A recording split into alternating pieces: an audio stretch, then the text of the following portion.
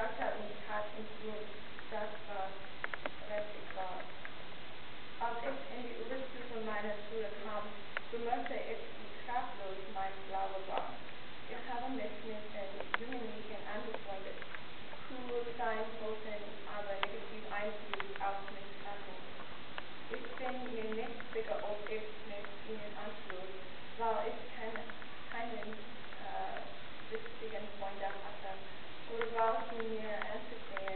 Cooper coming, Rudaval is Scotland, Darcy, Minas